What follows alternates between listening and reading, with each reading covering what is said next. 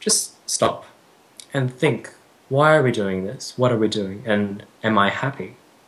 Boing Boing teamed up with Institute for the Future and Sun Microsystems to create the Digital Open, an online tech expo for teens 17 and under around the world. Now meet one of the winners.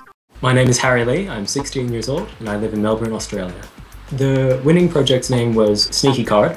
I created the card in an effort to create a game which used social interaction as a platform rather than, say, amazing graphics, amazing visuals, or um, really complicated gameplay. So these aren't games played on a platform like the Xbox or computer. These are games you play as you, as a real person. Those are the games that I chose to focus on because those are the more exciting games in my opinion.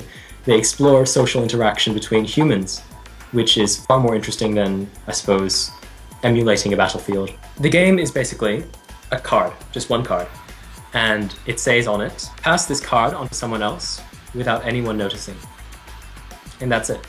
And that's why I called it Sneaky Card, because it involves elements of put pocketing, which is sort of the opposite of pickpocketing. It involves the espionage elements. It makes people feel like they're spies, they're slipping in cards, and it's also a bit of fun. I attempt to make people see the world in a different light. Start thinking in a deeper level. Just stop and think why are we doing this? What are we doing? And am I happy? Life is almost like a technology. It's a platform, just like the internet, but it's real. You get only one life and no save points. But we each have a power to change the world. We each have a power to change those around us. We have the ability to imprint people's lives with inspiration, with love.